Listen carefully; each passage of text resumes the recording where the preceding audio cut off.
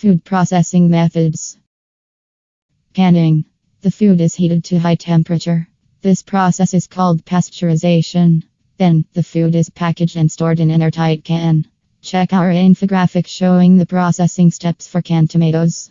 The canning process itself consists of several stages cleaning and further preparing the raw food material, blanching it, filling the containers, usually under a vacuum, closing and sealing the containers, sterilizing the canned products, and labeling and warehousing the finished goods. Fermentation The breakdown of sugars by bacteria, yeasts, or other microorganisms under anaerobic conditions. Fermentation is not only used in the production of alcoholic beverages such as wine, beer, and cider, and in the preservation of foods such as sauerkraut, dry sausages, and yogurt, but also for raising dough in bread production. Fermented foods are rich in beneficial probiotics and have been associated with a range of health benefits from better digestion to stronger immunity. Freezing. Food temperatures are reduced to below 0 C to decrease the activity of harmful bacteria. The process can be used to preserve the majority of foods, including fruits, vegetables, meat, fish, and ready meals. During the fermentation process, the microbes feed on sugars and starches, breaking down food before anyone's even consumed it.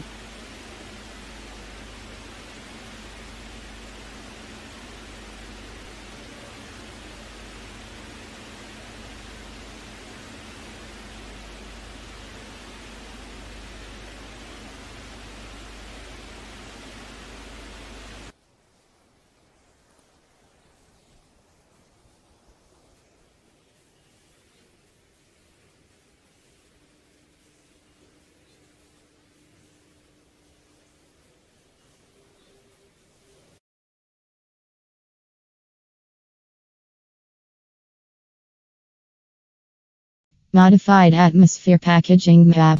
The air inside a package is substituted by a protective gas mix, often including oxygen, carbon dioxide, and nitrogen gases that are also present in the air we breathe.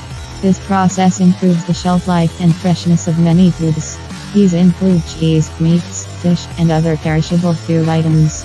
These foods are commonly packaged with oxygen, which is removed by MAP. Pasteurization. Food is heated and then quickly cooled down to kill microorganisms. It can be done as a batch or a continuous process. Pasteurization times and temperatures depend on the chemical composition of the pasteurized food, but rarely does pasteurization require a product to be heated beyond 100 C.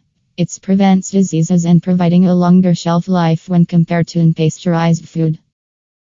Smoking.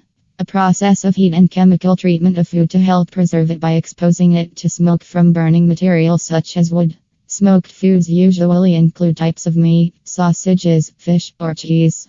Removing the moisture from food helps prevent bacterial and fungal growth, which would ruin stored foods. Smoking is a method of drying that also imparts flavor to the food, usually meat items, and smoke helps keep bacteria carrying insects away during the drying process. Additives they make the food edible. Food additives play an important role in preserving the freshness, safety, taste, appearance, and texture of processed foods. For example, antioxidants prevent fats and oils from becoming rancid, while preservatives prevent or reduce the growth of microbes, e.g., mold on bread. Some additives have been used for centuries as part of an effort to preserve food, for example, vinegar, salt, smoke, sugar, etc. Download food processing list. Link in description. If you find our video helpful, subscribe to our channel and like ampersand share.